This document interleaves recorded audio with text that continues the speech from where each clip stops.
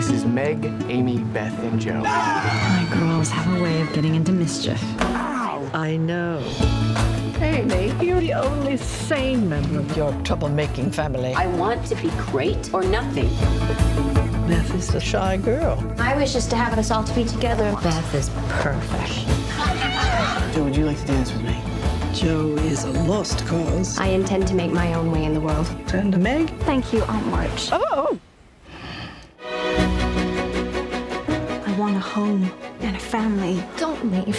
You'll be bored of him in two years, and we will be interesting forever. Women have minds, and they have souls, as well as just hearts. You're not angry at me. Life is too short to be angry at one sisters. Where'd you get the money? Well, I only sold what was my own. You're one Like beauty. a boy.